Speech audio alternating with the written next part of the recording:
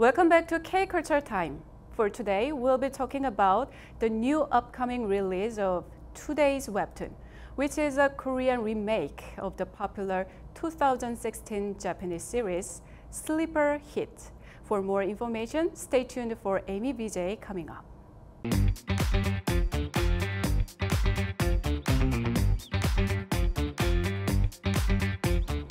Hello everyone and welcome back to KBC News. My name is Amy VJ with your Korean Hot News. A Korean remake of the popular 2016 Japanese series titled Sleeper Hit is set to come out soon.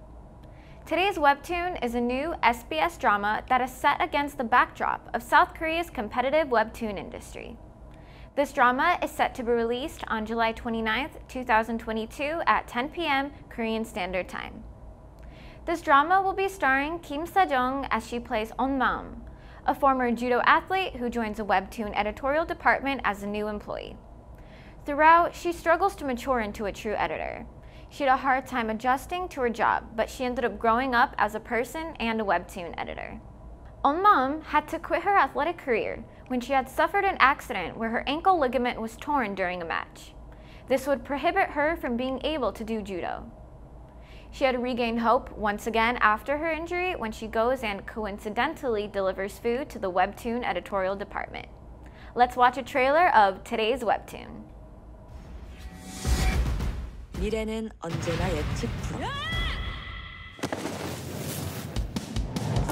유독 얘는 탁월한 열정이 있다니까.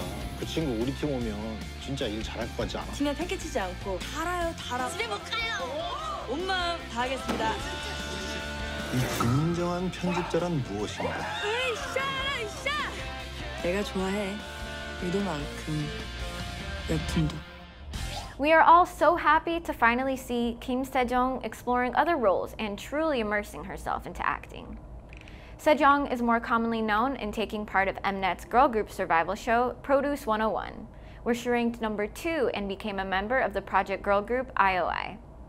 So proud of Kim Sejong and all she has accomplished. Looking forward to the release of this upcoming drama. Thank you for tuning in to KBC News. My name is Amy VJ with your Korean Hot News.